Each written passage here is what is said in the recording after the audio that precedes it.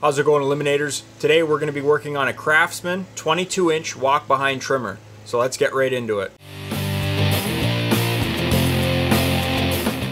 So we're working on a little walk behind trimmer here. It has a Briggs & Stratton 675 series. So this is a 6.75 pound foot of torque engine. So it's 190 cc. There's the model number of the engine as well as the model number of the actual Craftsman trimmer itself. Now you guys can see that I've already started working on it. I pulled the spark plug. It takes an RJ19LM plug. I'm going to be putting a new one in there.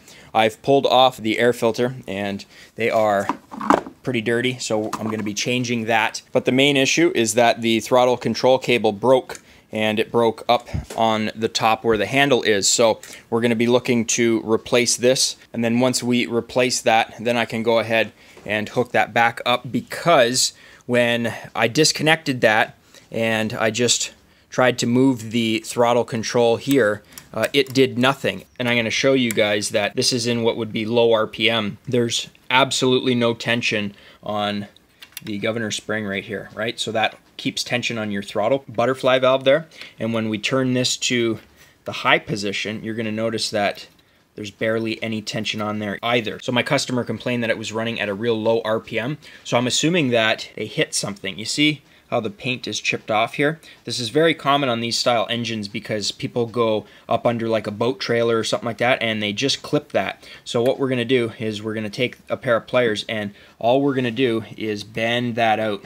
See how it opened up our throttle now? So when you're on low RPM, right, there's gonna be a little bit of tension on that spring. And then when you go to high RPM, there's going to be more tension on that spring. So we might have to go even more. So that's in the wide open throttle position, and then that's in the stop position. So obviously your governor, when your engine's spinning, the camshaft is pushing up against that counterweight. It's pulling this back. So the farther forward this is, the more tension it's going to put on your throttle butterfly valve here, which means the more it's going to open that throttle into that position. Now, worst case scenario, if I can't get that throttle cable then my customer really doesn't need the throttle cable because you can just move this by hand and it can be uh, a hand operated throttle control. Now, a lot of times on some of these models, you're going to see the little red handle here, and that's going to be just that. A lot of Craftsman pressure washers have that, whereas this one has the little post here, so your cable goes in here and then just hooks up to there, so that it just allows you to throttle it up or throttle it down. But like I said, you know, you can always just do this one by hand. And just to show you guys, the kill switch on this one is that little tab right there. So as you bring this over into the off position, it depresses that tab. So basically all it does is connects a ground, right? So it connects those two pieces. So it, you're just grounding out the coil and that's it. So now the engine will stop. It has spark there and it has no spark there. So it's a pretty simple design. You know, if it was my machine and I snapped the cable and I couldn't find one for a cheap price or I couldn't get one soon, I would just disconnect the cable and just run it by hand because it's no big deal. But my customer wants us to go ahead and replace the throttle control cable, do a full service on this. So I'm going to be changing the oil, changing the air filter, the spark plug as well. And I got a new RJ19LM spark plug here and I've gapped it to 30 thousandths of an inch, so I'm going to install that. And I'm just using a 13 16 spark plug socket to tighten that up. And before I run it, I don't want to suck up any loose debris, so I just went ahead and wiped out the inner air box and I have a brand new Stens 102 549 air filter here and that replaces Briggs & Stratton 491588S. So I'm going to go ahead and install this and then I'll bring this outside and fire it up and then I'll show you guys how to adjust the RPM. Okay, so I have here my single cylinder wireless tachometer. So how this works is you put this little coil here up to the high tension lead or the spark plug wire, and then you turn it to the on position. Now we're gonna be measuring in the low RPM position, so that goes anywhere from zero to 5,000 RPM. You guys can see on the top there. And high RPM measures from 0 to 15,000 RPM. So we're going to leave it there. And then while this machine is running, like I said, I'm just going to go over here, press over on that, and then you'll see the gauge move up. And then if we want a higher RPM, like I said, with this in the high RPM setting, we're just gonna bend this out and put more tension on this governor spring. And to keep this machine running so that I don't have to hold the handle up here, I just have a little quick clamp. So you guys can see that on the high setting here, the machine's running at a low RPM. So like I said, we're just gonna come up to this little bracket here and pull it out.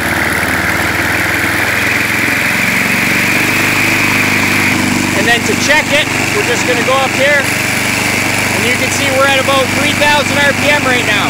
So we're gonna come out just a little bit more.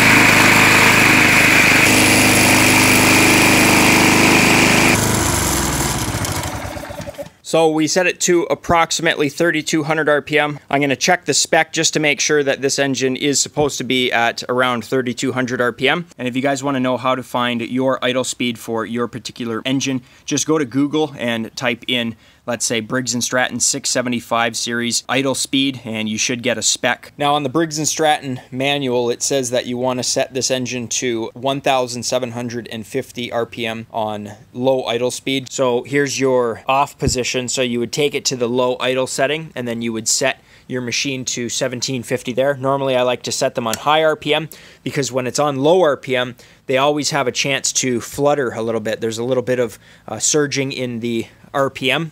So just so you guys can see, that's low RPM. And you see what I mean about the little bit of like a rough idle? They run better at high RPM.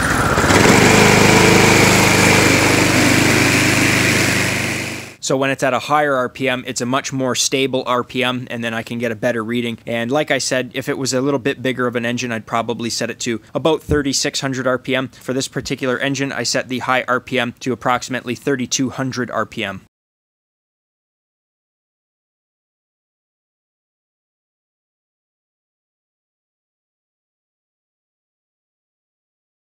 Another thing I could mention about these engines is that if you ever try to start one and it doesn't start and you know your carburetor's good and you know everything else is good, if you pull off your cap and you have spark when you're testing it with a spark tester, go ahead and remove this little heat shield here. A lot of times these press against the spark plug base and they don't actually allow you to get a good connection in between the rubber cap that connects to your high tension lead. So a lot of times uh, these just prevent spark from going to the spark plug. And when you test it, a lot of the testers have a longer probe and uh, they can go farther in here. So you'll get spark when you test them, but you won't get spark when it's hooked up to the spark plug.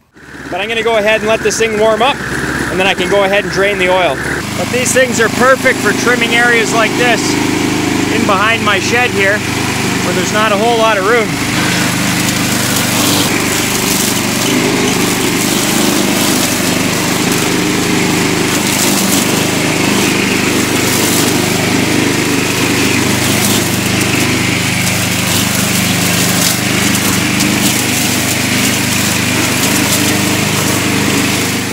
Yeah, these things work awesome, guys. Just for spots like that that are hard to get into but overgrow sometimes. So now that it's nice and warm, I'm gonna go ahead and use my Pela oil extractor and we're gonna pump out some of that oil there. Yeah, this thing's definitely one of the best things that I've purchased in terms of like shop tools. You just take your tube and you put it into the bottom end down the dipstick there. Go ahead and pump it up 20 times and then you should hear the oil flowing. You guys can see it's pretty dirty. I use this thing multiple times a day. But there you go.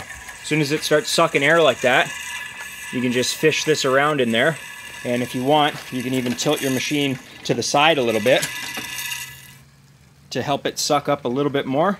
Now you don't want to pump this thing more than 20 times because it could collapse on itself because what you're doing is pumping the air out of that chamber and it's sucking in the fluid to replace it. But sooner or later, we should start hearing air. Right there, guys. So that's it. All of the oil is out of the bottom end of this machine. And then what I'll do is fill this up with approximately 20 ounces of SAE 30 engine oil. For doing small engine repair, you really can't beat these things.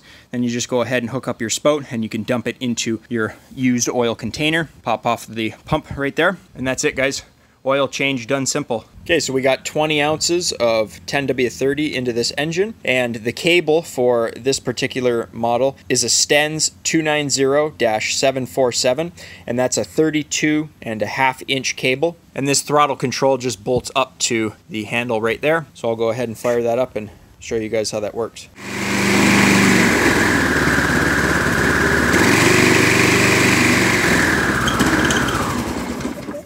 That's it, guys.